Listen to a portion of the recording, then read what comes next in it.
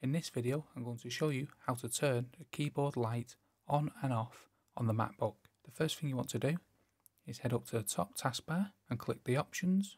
Then you want to come down to keyboard brightness and from here you can adjust the brightness all the way down until your keyboard switches off.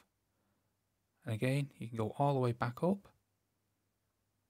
till the keyboard is at its brightest. You can also come over to keyboard preferences at the bottom and you can click this button here to adjust the keyboard brightness in low light. So if it's a dark room, the keyboard brightness will come down to not affect your eyes too much. And in a bright room, the lights will come up. You can also select this button here to turn the keyboard light off after 5 seconds of inactivity and it will switch off like this. And then you can reuse the keyboard and the lights will come back on. I prefer to not have that on as it can become distracting.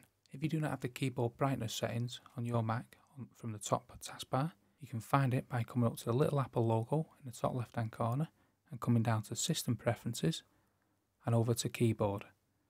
And this is where you find all the different settings for your keyboard brightness. And that is how you adjust the brightness on the MacBook keyboard and also how to turn the MacBook keyboard on and off. I hope that video was helpful. If it was, check out this next quick Mac tip here and thank you for watching.